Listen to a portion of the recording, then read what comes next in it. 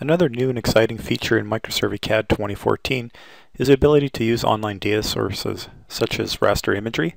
You can also use this new feature to insert different layers, for example shapefiles for GIS work. We're going to download some aerial imagery.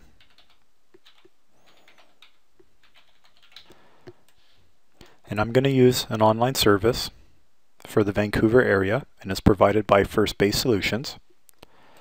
I'm going to enter in a latitude and longitude.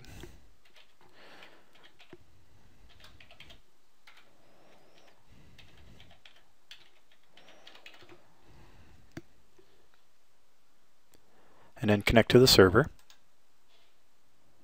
And now the imagery is going to be downloaded. And once it's downloaded, we'll see it in our drawing screen. The imagery is cached, so you don't need to download it again. And we're just going to change the draw order of the line work here so it appears in front of the image.